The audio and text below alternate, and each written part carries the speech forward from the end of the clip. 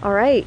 Good morning, everybody. We're here live at the Florida Wildflower Symposium uh, in Orlando, the UF IFAS extension here. And we're here with Chris Waltz, who is a Florida Wildflower Foundation and a Florida Native Plant Association volunteer. And he's worked very hard over the years to create something that a lot of people really want in their gardens, and that is container gardens, and these are filled with wildflowers. So, Chris, you're going to be presenting here at the symposium today on this very topic, and I'm lucky to get to talk with you today before you do that to get a sneak peek as to what you're going to talk to people about. So, Chris, can you tell us a little bit more about how you got into container gardening with wildflowers in the first place? I mean, they're wild. Shouldn't they be out of pots? Right, yes. Um, so this whole uh, process of, of using uh, containers to grow wildflowers and native plants started when I would do volunteer events and people would say, oh, I love wildflowers or I love um,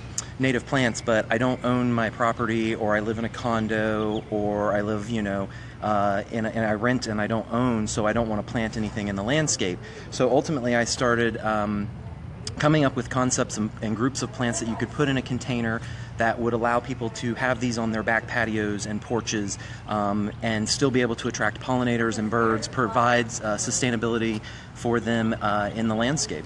Okay, so Chris, can you tell us a little bit more about this particular pot? And if you can kind of come down here with me, I want to be able to hear you a little bit better. All right, so this particular pot here was designed to be for a shade garden. So a, a patio that might be on the north end of a condo uh, where it doesn't get very much sun and the sun is limited. So this first plant here in the front that has the heart-shaped leaves is the native uh, native violet or the common violet. Um, All right, hold tight, Chris, because yep. as some of you might know at home, if you're tuning in and you've seen some of our previous live videos this uh, this past day or two, you know that we are right in the middle of uh, an airport area. so every once in a while we have these planes going by. Okay, it's getting a little bit better. So Chris, keep going with All this right, violet. So this is the native violet. It's a host plant for um, one of the native butterflies in our area. Um, it blooms in the spring. Uh, it's a it's a cool plant. Uh, a lot of people don't even know we have native violets here in the state of Florida. Um, and so this is a cool one. It's one of the first things to bloom in the spring. You'll get a, a small purplish flower on it. Uh, this makes a great ground cover for a shady area as well. Um, it makes great hanging baskets as well. It make great hanging baskets. Well, yes. that makes sense, Chris, because I notice, I mean, this is a younger plant, but it's already starting to go over the pot in that beautiful kind of droopy way. Yeah, kind of cascading down. Right. So, what can you tell us about this one that we see flowering with All right, so this guy, this guy here is spiderwort, and this is a great um, native wildflower that we have. Uh, these purple flowers are unique because it's only got three petals. It's great for pollinators. In the morning, you will see this thing covered in um, honeybees and other bees like carpenter bees and uh, bumblebees, which are in de major decline.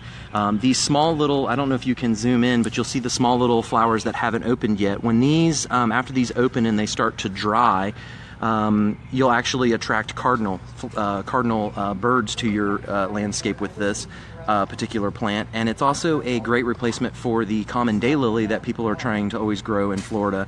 Um, that doesn't seemingly do well because of the uh, lack of cold weather. Wow, so it's ornamental and it has wildlife value, both birds and pollinators, and it grows everywhere. Yes, pretty much the entire state. So this will be a great addition to a shade garden. Uh, for a shade garden, you can it'll, it's also very versatile, so you can grow it even in dry, sandy areas, um, including full sun, full sun to full shade. Wow, and so that's the case with this rouge plant over here as well, right, Chris? Correct. Uh, this is rouge plant, which is typically an understory plant you'll find um, growing uh, underneath in shady areas. It's got uh, beautiful white to whitish blush pink flowers that you will typically see year round, um, which are followed by red berries. The, the uh, flowers themselves are frequent, frequently visited by the state butterfly, which is the zebra longwing. Oh. Um, and then the berries are often eaten by mockingbirds. So again, uh, this this particular pot was designed to not only attract pollinators, but to attract some uh, birds as well. All right. Now, Chris, I know this one works well in the shade. Will any of these work well in the sun too? Um, you can. Um, the violets themselves don't really like the sun too much. Uh, they tend to they tend to fade out in the sun, and they also like a little bit more moisture. So these would be more of a shade type plant. The other two, both the rouge plant and the spiderwort, um, will both grow in full sun. Um, the spiderwort of the three will do the best in full sun. The rouge plant, however, when you grow it in the sun, it tends to bleach out the leaves and gives almost a variegated look. Um, and then the stems actually turn a darker red, so you get a totally different looking plant when you plant it in the sun versus when you plant it in the shade. Oh, that's really interesting. So, um, while this next plane goes over us, again, we are live. If you have questions for Chris, you can feel free to um, write them in a comment and I'll see them and I can ask Chris for you. And if you're liking what you see or loving it, you can uh, go ahead and press the like button or the heart button and let us know that you're here watching. Now, this is just one of the pots that you have, Chris. I know that there are two more just inside the building that I'll pan over to. This is the IFAS building where we have um, all kinds of activities going on today during the Florida Wildflower Symposium, our annual symposium. And in there is a silent auction. You have two other pots that are up for grabs.